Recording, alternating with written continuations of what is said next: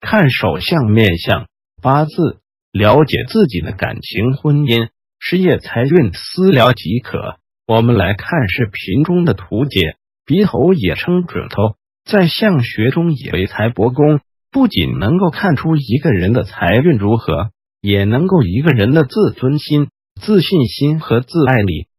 如果一个人的鼻头低垂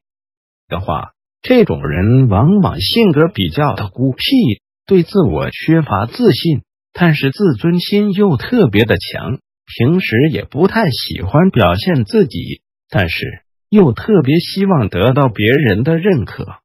疑心非常的重，为人也非常的自私阴暗，喜欢在背后算计，特别的物质现实，做事一点也不光明磊落。这种人也不善于理财和守财，不得人心，事业上容易遭遇失败。需要看相或者批八字，可以加老师微信：六六七二三三幺九。